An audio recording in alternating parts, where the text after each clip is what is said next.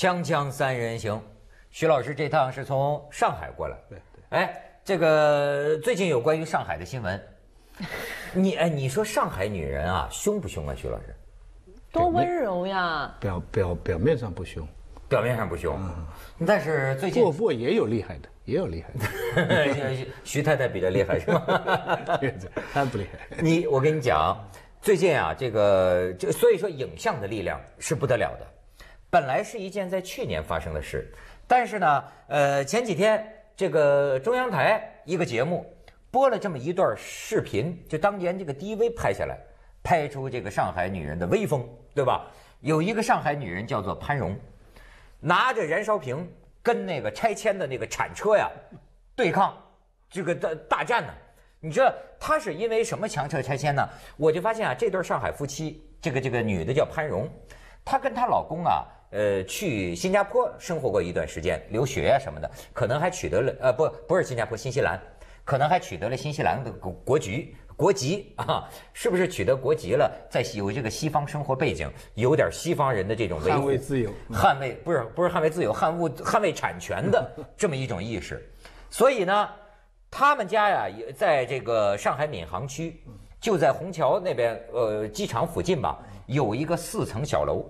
四百八十平米，但是呢，什么机场啊，什么扩建工程啊，什么等等，就是要占用他们家的这个楼。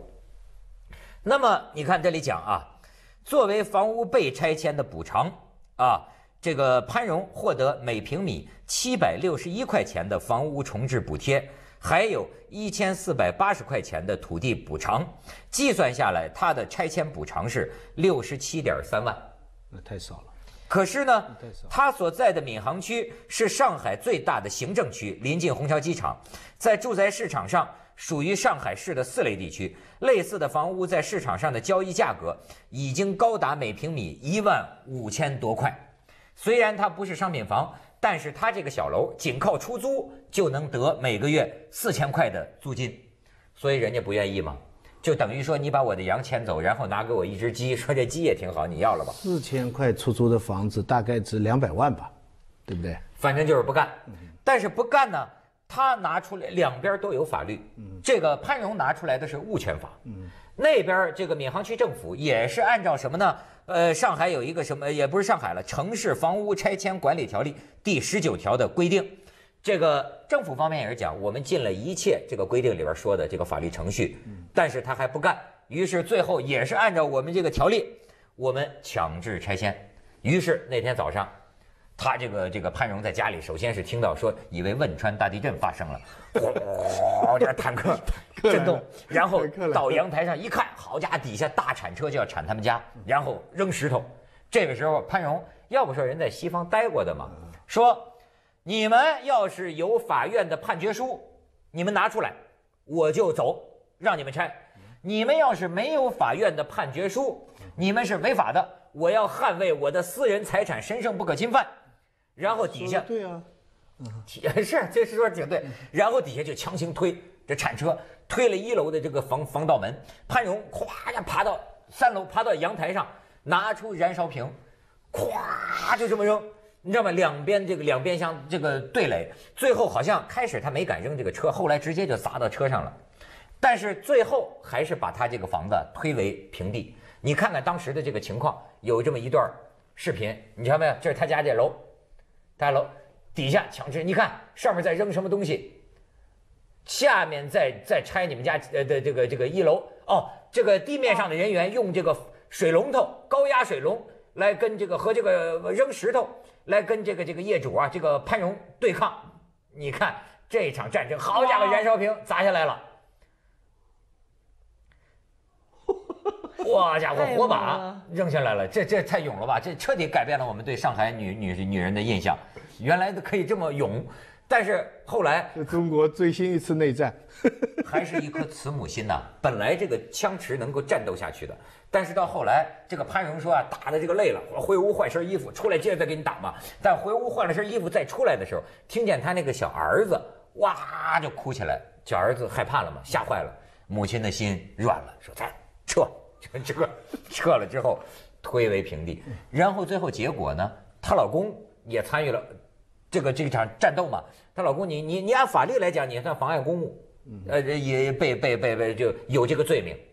但是这个人家就讲了，是这个物权法和这个房屋城市房屋拆迁这个这个条例之间两部法打了打了不，起来你。就事论事，你说使用暴力的话，它也是后使用啊。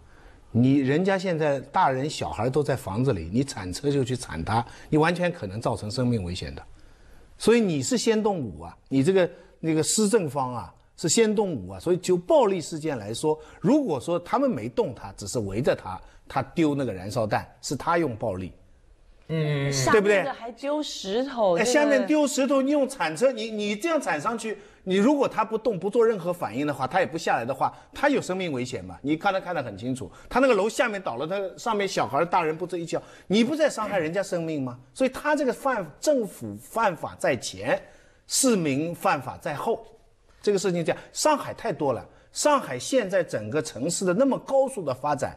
其血淋淋的代价，不说血淋淋了，泪淋淋的代价，就是有很多人都被迫迁离了市中心的好区，获得了很低的赔偿。当时社会主义发展动力快，而问题在于什么呢？问题在于很多钉子户他留下来不走，他后来都获得很高的赔偿。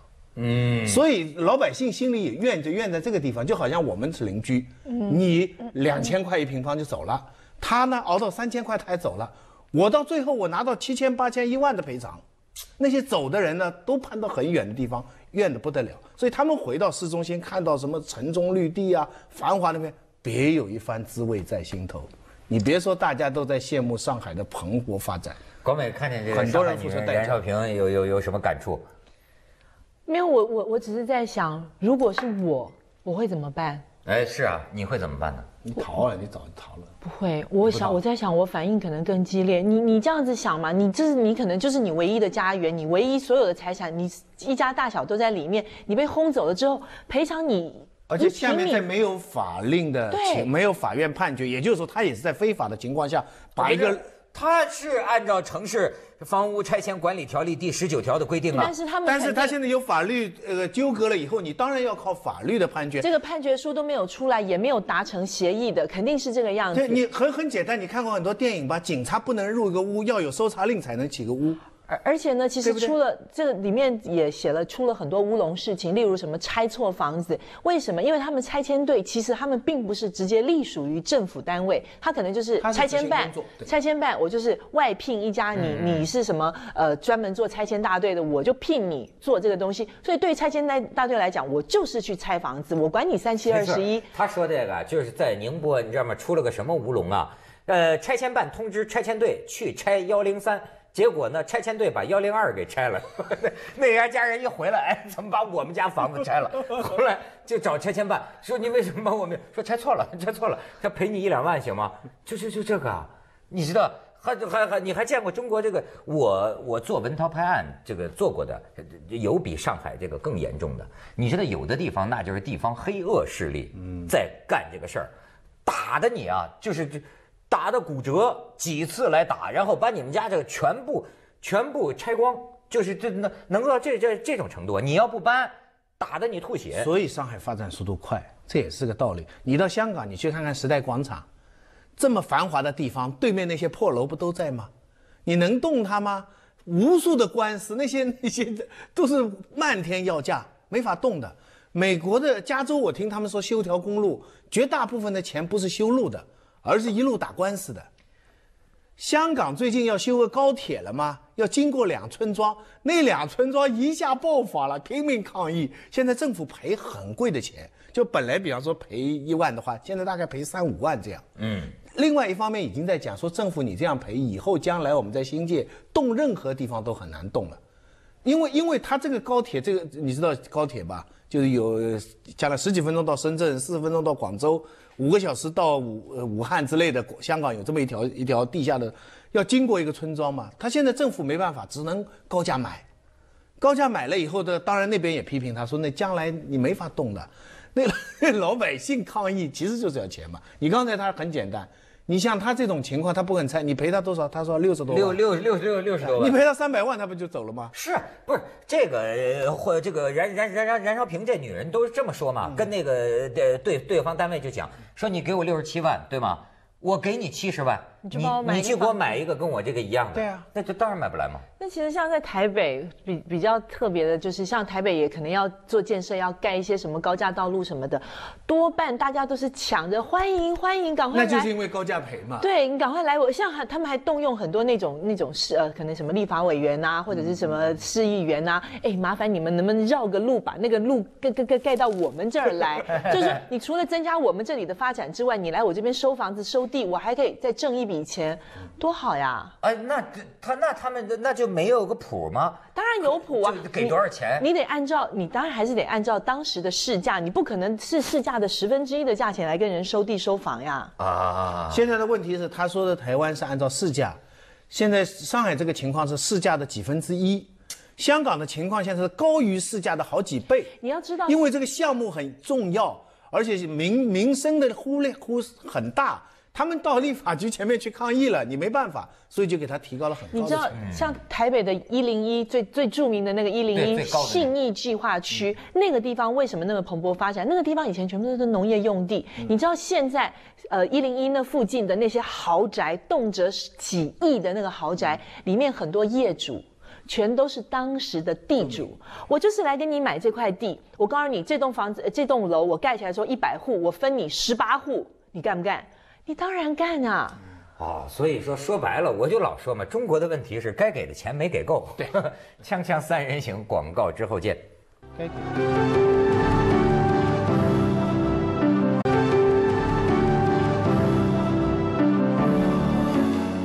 我觉得啊，这个在大陆，我们有一个思想根源，这个思想根源就是什么？你看，当我看到这一个钉子户扔汽油瓶的时候啊，我就想起一个人的战斗，我就老想说一句过头的话：个人比集体重要。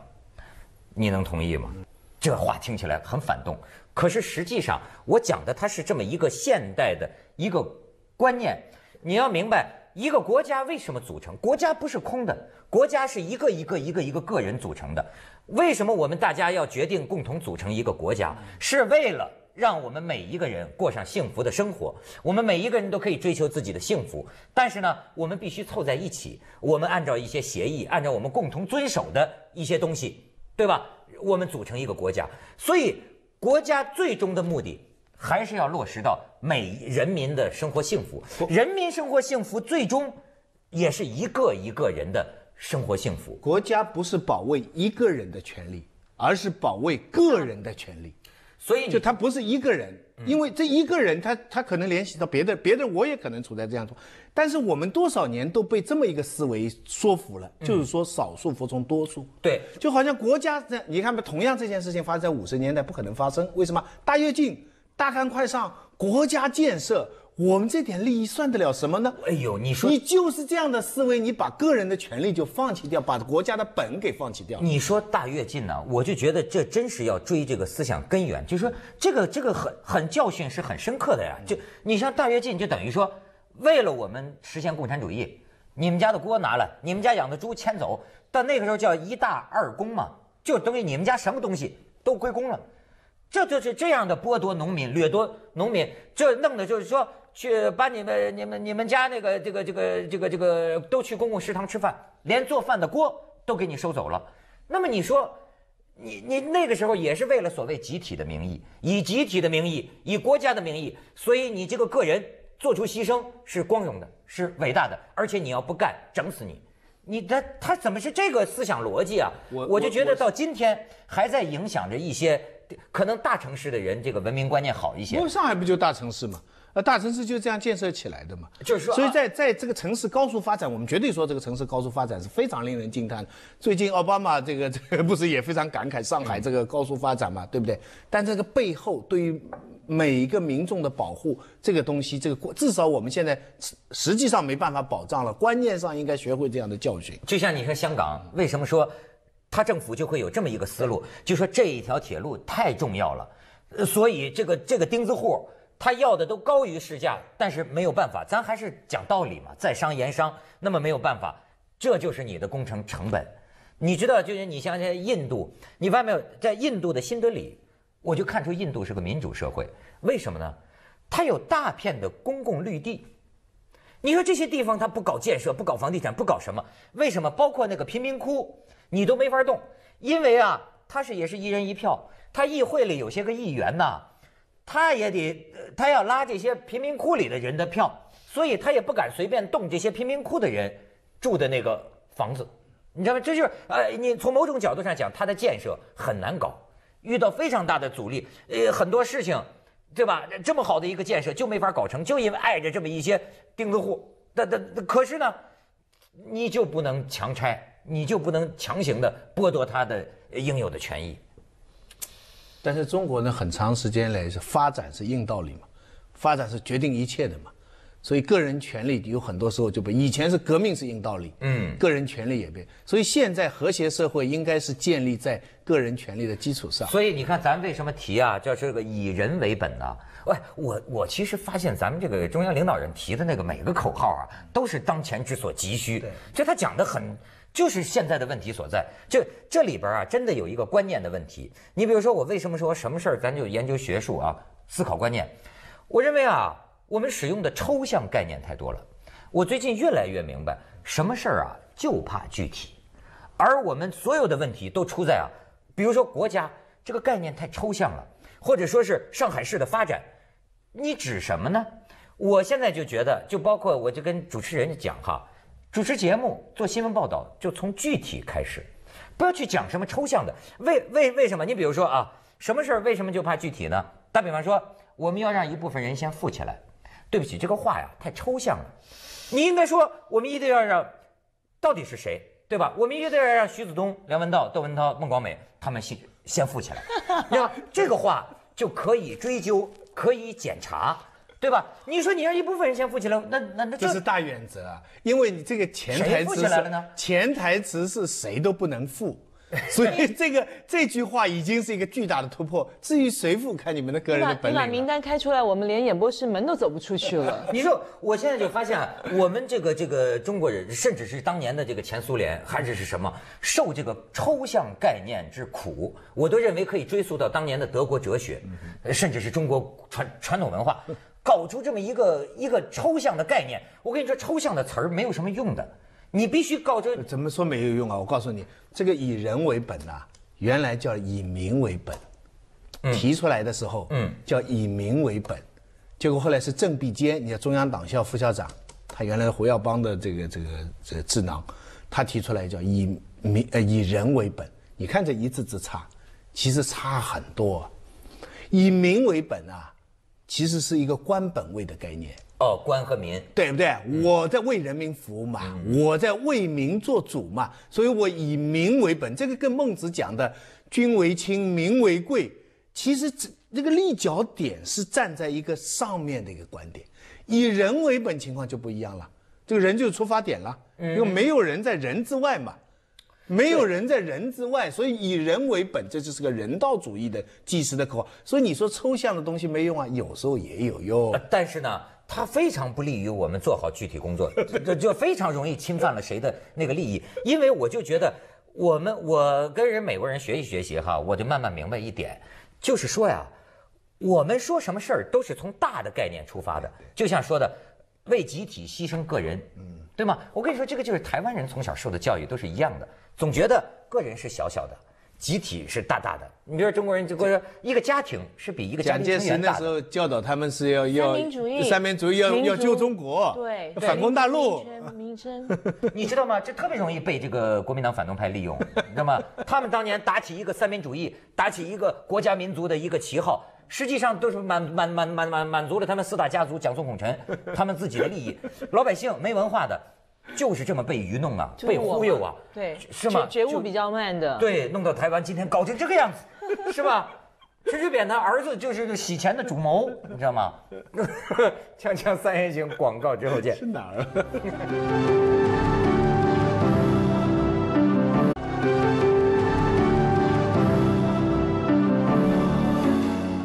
你看我讲陈水扁吗？他都是这种思路啊。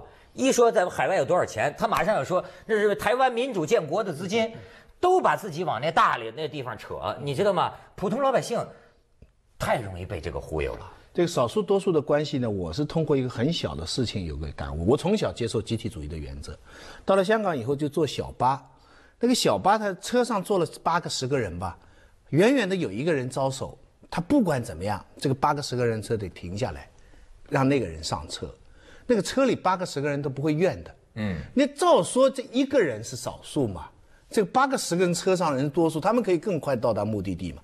但是问题是。你要提出这个问题，司机马上跟你说，你也可能在下面坐着一个人呐。每一个人都可能是处在下面等车的这一个人呐，所以你在车上，你上了车的不会踩要上车的，因为你也可能是在要上车的情况下。嗯，换句话说，在这个时候，大部分人不是让了这一个人吗？你你你看，我们十个人停下来让着一个人上车，表面上还大部分为了，但是其实呢，因为这一个人的事情是我们每个人都可能碰到的事情。而且这个谁决定做主，呃，要停车，其实是那个司机。而且这个利益最大获得者是谁？其实就是那个司机。哎，但是他规则也是这样，他规定他一定要在，如果他是在招手的站，他一定要停下来。当然，他这个规则，这所以在这个地方我就想明白了一件事情，就是我们一我从小接受的一个道理，就是说，只要我是少数，我就得给牺牲掉。对，啊只要比方说我们三个人我们去吃饭，你们要吃大闸蟹，我不吃，那我一定跟你们去吃，对不对？诸如此类，就算你们不吃，那我想吃也不行。从小我就接受，像刚才那个房子那个事情啊，我跟你讲，你还反抗，我要在里边，我一定不反抗。第一，我知道弄不过政府；第二，你还我还提高觉悟啊。上海现在这样好的发展，我在这里做绊脚石，我自己有房子，我有亲戚房子拆迁，老老实实就搬走了。那估计徐老师，你可能别的地方还有很多房子，所以你不用担。完全不是，完全不是，我就是接受了这样的原则。我到今天被邓文涛刚才一番话讲明白了，以后啊，我不服从了。钉子户，没错。真的，以后谁也拆我的房子啊？多少少我六手榴弹，多少少数就在历史上这么被牺牲掉了。他们其实汇聚起来，然后多数啊，对，然后大部分人都曾经作为这样的少数被牺牲，牺就是历史上牺牲。